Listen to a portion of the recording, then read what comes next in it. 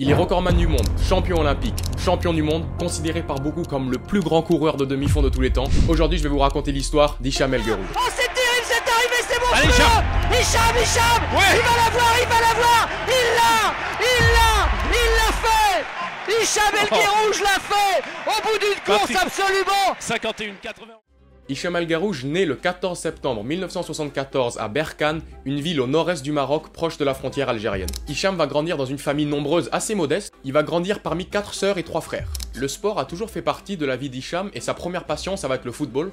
Lorsqu'Hicham il était jeune, il se pressait de rentrer de l'école pour aller manger le goûter pour pouvoir sortir jouer au foot après les cours.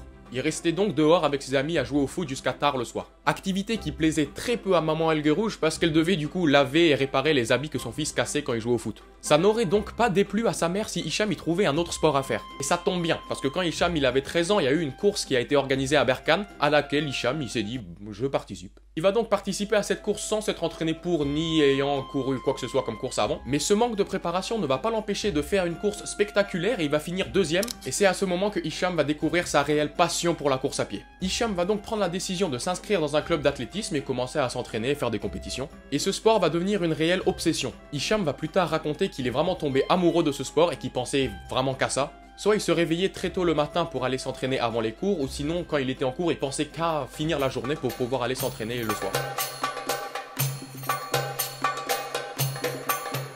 Et non seulement il tombe amoureux de ce sport, mais il est aussi très très doué pour. Et seulement 3 ans après avoir découvert l'athlétisme, il est invité à rejoindre l'Institut national d'athlétisme de Rabat. Il va donc à seulement 16 ans prendre la décision d'arrêter ses études et de quitter sa ville, sa famille et tout ce qu'il connaît pour se consacrer pleinement à la course à pied. Hicham est alors parti avec un but très très clair en tête, celui de représenter son pays, représenter sa famille et devenir le meilleur coureur que le monde n'a jamais vu.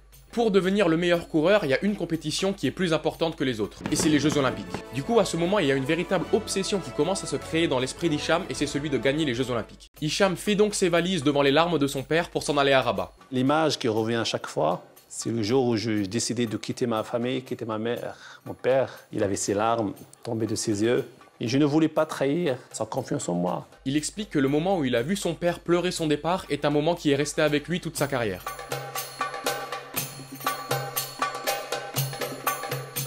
Nous sommes donc maintenant en 1990 et Hicham est logé à Rabat, loin de tout ce qu'il connaît. À ce moment, Hicham ne connaît que deux choses, l'entraînement et le repos. Et il n'a pas fallu beaucoup de temps avant que cet énorme sacrifice commence à payer. Parce que dès 1992, Hicham va décrocher la troisième place du championnat du monde junior du 5000 mètres. Hicham a donc maintenant 18 ans et commence à jouer avec les grands du monde de la course à pied. Il va donc continuer à s'entraîner et se développer comme athlète et en 1995, il va participer à sa première compétition internationale en tant que senior. Le 1500 mètres du championnat du monde à Barcelone. Voilà, El Guerrouj en deuxième euh, position, Nourdine euh, en bleu, là. euh, Ouais. Et El Guerrouj en rouge Derrière Kers, euh, voilà, il se, il se place. Là, le- Il va s'imposer et gagner la course, et du coup, à seulement 20 ans, Hicham va être sacré champion du monde pour la première fois, mais on va le voir, ça sera pas la dernière. hein. Parce que oui, en effet, ce titre va être le début d'une très très grande carrière. Comme nous l'avons vu, depuis qu'il est très jeune, Hicham il rêve de remporter les Jeux Olympiques. Et en 1996, cette opportunité s'offre à lui pour la première fois. Nous sommes à Atlanta et Hicham se présente sur la course du 1500 mètres en tant qu'un des gros favoris. À ce moment, il est deuxième sur le classement mondial du 1500 mètres, seulement derrière Nurdin Morselli, son idole. Physiquement, Hicham, il était en très très bonne forme, il était prêt. Mais mentalement, c'était pas la même histoire. Hicham avait seulement 21 ans à l'approche de ses jeux et la pression d'une aussi grosse compétition était trop pour lui.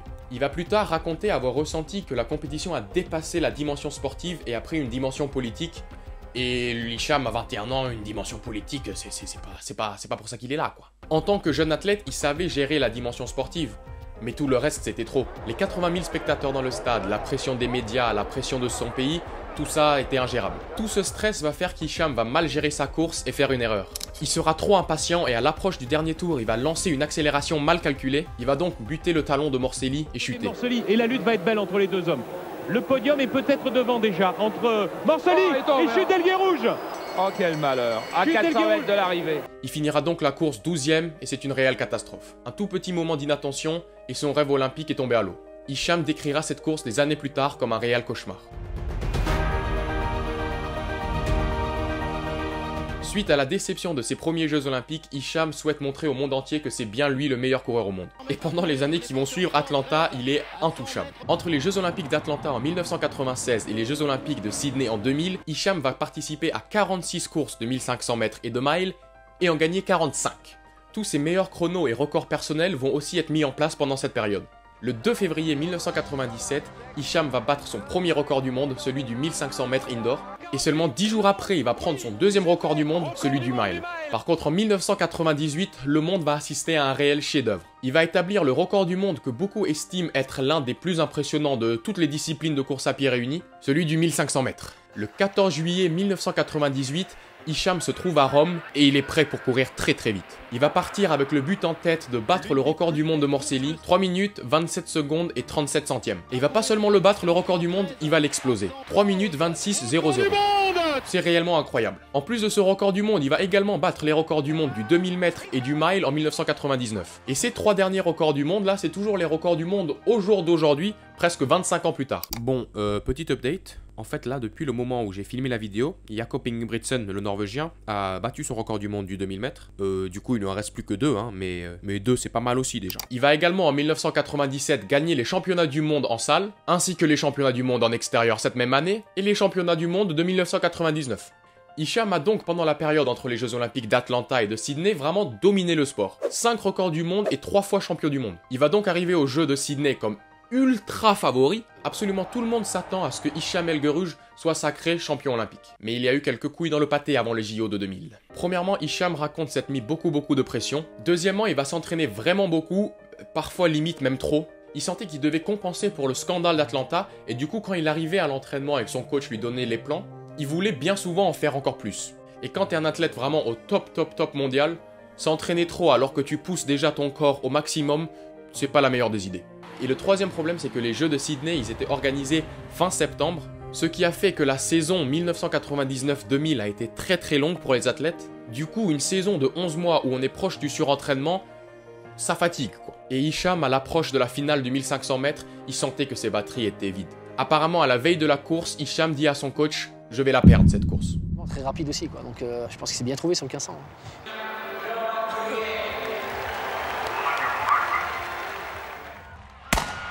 Ils étaient deux Marocains dans cette course et ils avaient décidé d'imposer une allure très rapide. Du coup, le deuxième Marocain, Youssef Baba, jouait un rôle de lièvre finalement dans cette course pour Hicham. La course part donc très vite, mais en fin de compte, Hicham avait raison. Il n'était pas prêt. Son rêve de devenir champion olympique lui échappe donc pour une deuxième fois. L'histoire d'Hicham et les Jeux Olympiques, on dirait vraiment une réelle malédiction. Entre la fin de l'été 1995 et le début de l'été 2004, Hicham va gagner 60 courses de 1500 mètres et de miles et seulement en perdre deux, et ses deux seules défaites, c'est les deux finales olympiques. Lorsqu'il franchit la ligne d'arrivée à Sydney, la déception est immense. Hicham veut toujours prouver au monde entier qu'il est le meilleur, et il ne lâche toujours pas prise sur son rêve d'enfance, devenir champion olympique. Malheureusement, euh, aujourd'hui, j'étais pas dans le grand jour, mais j'espère que les années prochaines, Inch'Allah, l'année prochaine, je, prouve au monde entier que je suis toujours le meilleur. Hicham va donc continuer à s'entraîner dur vers les Jeux Olympiques de 2004 à Athènes. Après les Jeux Olympiques à Sydney, Hicham il est toujours au top du top mondial. Hein. Il gagne des championnats du monde, il court des 3,26, des 3,27 comme si c'était des promenades du dimanche. Il gagne tous les 1500 mètres auxquels il participe, il commence vraiment à être prêt pour les Jeux Olympiques. Mais là, un jour en 2003, assis dans l'avion avec son père et son entraîneur, Hicham il a une idée. Il dit à son coach qu'en 2004 aux Jeux Olympiques d'Athènes, il souhaite faire le doublé 1500 mètres 5000 mètres. Son coach il est pas chaud chaud, il lui dit oulalalala, on va se calmer petit, parce que ce doublé c'est quelque chose qui n'a pas été fait depuis 1928 par le finlandais Paavo Nurmi, et bon, autant vous dire que les Jeux Olympiques de 1928, c'est pas vraiment le même univers que celui de Hicham Elgerouj en 2004. Du coup, son coach, lui fait euh, non, absolument pas. Mais Hicham, il a déjà décidé que si. Hicham explique déjà avoir perdu deux Olympiades, il faut qu'il récupère ces deux médailles qu'il a perdues. Bon, petit à petit, son coach, il commence à se réchauffer un petit peu à l'idée. Il lui dit ok, mais à une condition, qu'il le teste au championnat du monde à Paris avant. Hicham va donc en 2003 se rendre à Paris avec pour but de gagner le doublé 1500 mètres, 5000 mètres. Il va gagner le 1500 mètres devant le français Mehdi Bala, mais il va malheureusement arriver en deuxième place aux 5000 mètres derrière un certain Eliud Kipchoge qui va lancer sa carrière à ce moment-là. Bon, même s'il n'a pas réussi à gagner le doublé à Paris, c'était une bonne performance qui lui a donné confiance en lui. Il décide donc de tenter le même doublé en 2004 à Athènes.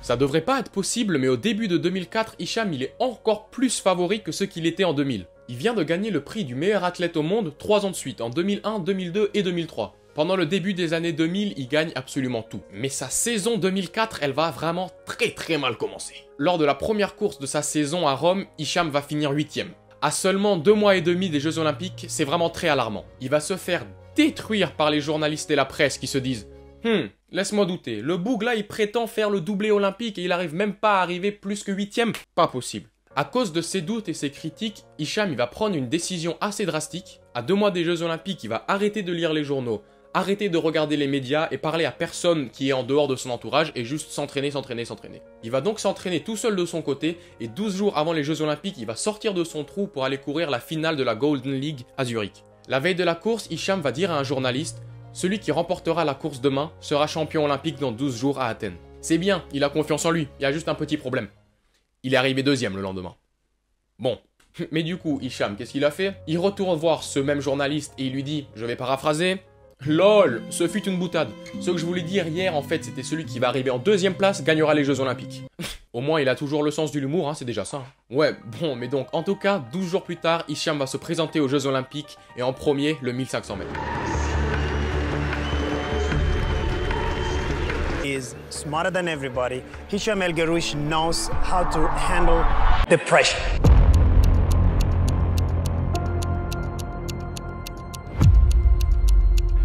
Bon, on va voir ça. On va voir ça.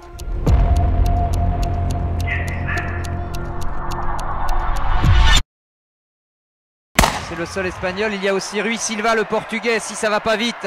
Rui Silva aura son mot à dire. Michael East aussi, euh, l'anglais. Et ça va partir vite avec un départ euh, de Kiprono Songkok. Alors pour cette course, Hicham, il n'avait pas de stratégie particulière, il avait juste pour seul et unique but gagner la médaille d'or. Reyes Esteves qui passe en tête pour l'instant avec Hicham maintenant qui a retrouvé sa, sa, place, celle qu'il aime, c'est-à-dire euh, juste légèrement décalé en attente. Oui, mais ils sont tous là, Patrick. Donc il va falloir que peut-être Hicham mène les derniers 800 mètres, durcisse la course. Et vous savez aussi qu'à ce jeu-là, il s'est fait quand même battre à Zurich par euh, Bernard Lagat. Mais ceci dit, il a eu une demi-finale un petit peu moins vite que celle de Lagat et peut-être il est un petit peu moins fatigué. Allez, Allez Hicham, il va peut-être passer là, il va falloir. 800 mètres à parcourir, Hicham El qui vient se mettre à hauteur de son adversaire numéro 1. Euh, Bernard Lagatte. Hicham a son destin en main maintenant. Il lui reste deux tours pour aller chercher l'or olympique. Et avec 800 mètres à parcourir, Hicham va prendre la course en main et attaquer le peloton. Il va faire un avant-dernier tour en 53 secondes, mais ça va pas être assez pour décrocher Bernard Lagatte qui le suit toujours. Avec 150 mètres restants, Lagatte commence à rattraper Hicham et là on se dit qu'il va connaître la malédiction pour la troisième fois de suite. Mais Bernard Lagatte est en embuscade Oh ça va être terrible là Ça va être terrible oh là là Lagat qui va peut-être se porter à hauteur d'Hicham qui commence à coincer. Le monde commence à se dire Hicham El sera donc jamais champion olympique. Silva qui revient derrière. Et Silva le portugais qui est là. Bernard Lagat qui est en embuscade dans la position du chasseur. Mais il résiste Hicham, il résiste Il résiste. Hicham résiste mais ça va. Oh c'est terrible c'est arrivé c'est bon Allez Hicham. Hicham, Hicham. Il va l'avoir, il va l'avoir Il l'a Il l'a Il l'a fait 14 ans après avoir quitté sa famille et tout ce qu'il connaissait pour poursuivre un rêve, Hicham El devient champion olympique.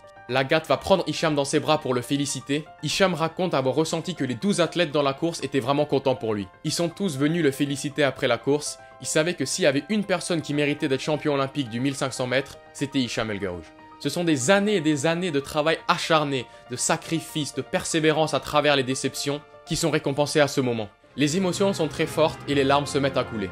Son frère a dit une très belle phrase qui décrit bien ce moment. Hicham était prince pendant 10 ans de 1500 mètres. En 2004, il est devenu roi.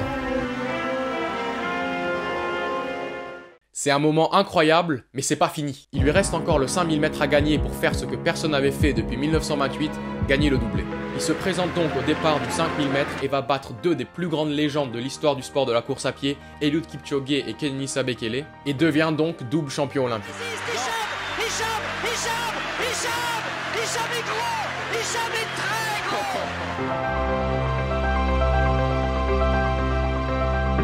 Suite à cet incroyable doublé, Hicham y va vivre une période plutôt difficile. Hicham souhaite continuer à courir et puis se développer comme athlète et pouvoir courir des courses un petit peu plus longues comme le 10 000 mètres ou le marathon, mais il a beaucoup de mal à se motiver. Cette passion qu'il avait au fond de lui n'est plus la même. Il a toujours été un athlète qui a été porté par son amour et sa passion du sport, mais du coup maintenant qu'elle est plus là c'est difficile. Hicham va essayer de continuer à courir pendant encore un an et demi après les Jeux Olympiques, mais cette passion qui est née au fond de lui quand il avait que 14 ans ne reviendra jamais. Il préfère donc après 2005 mettre fin à sa carrière pour ne pas trahir ce sport qu'il a tant aimé. Oui, parce qu'il estime que continuer à courir alors qu'il n'a plus cette même passion serait de trahir son sport. Les années qui ont suivi sa retraite ont été très très dures pour Hicham. Il dit que les années entre 2006 et 2009 ont été les années les plus dures de sa vie. Douloureux parce que je l'ai vécu tout seul, avec ma petite famille, ma mère et mon père.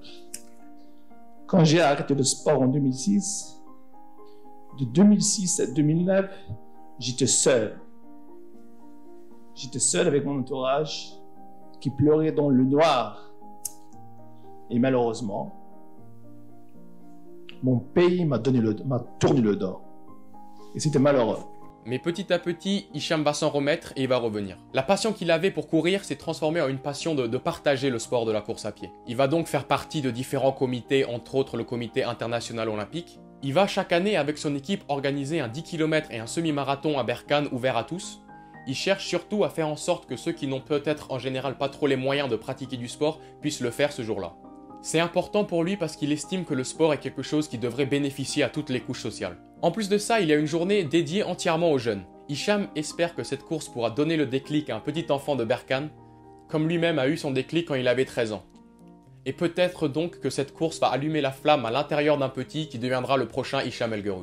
En plus de ça, Hicham estime être très chanceux de pouvoir être sorti de la pauvreté et de la souffrance. Il est entre autres ambassadeur pour UNICEF et il fait aussi d'autres choses pour la charité. Hicham souhaite motiver les gens à trouver une passion dans la vie et une fois qu'on l'a trouvée, ne jamais lâcher prise. Peu importe si, comme pour lui, sur la route, les déceptions sont nombreuses, il faut jamais baisser les bras. Je vais donc vous laisser sur ces mots de motivation du meilleur coureur de demi-fond de tous les temps. La vie, elle est comme ça. La vie, c'est des challenges. Donc, faites les choses que vous aimez. Faites-le par amour, par passion. Et juste pour vous dire aussi, croyons à, vos rêves. Croyez à, continuez à croire en vos capacités. Parce qu'en fin de compte, il n'y a que vous. Il n'y a que vous.